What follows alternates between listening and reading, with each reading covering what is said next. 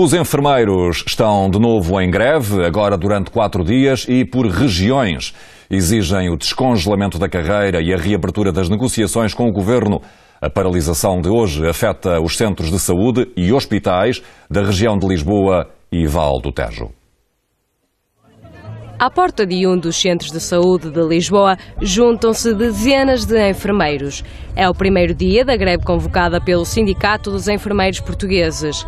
Nós tivemos hoje, em média, 68% de adesão uh, nos hospitais de Lisboa, Setúbal e Santarém, e o que evidencia bem o desfundamento dos enfermeiros quatro dias de protesto, nos turnos da manhã e da tarde, nas quatro regiões de saúde.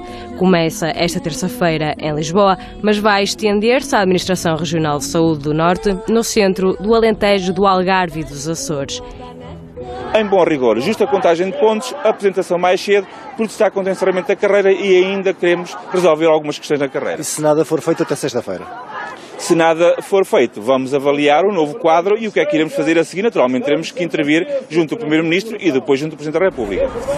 Apesar de estar marcada uma reunião de negociação suplementar para o dia 30 de janeiro, o sindicato manteve a greve por considerar que as propostas apresentadas pelo Ministério da Saúde estão longe daquilo que são as justas reivindicações.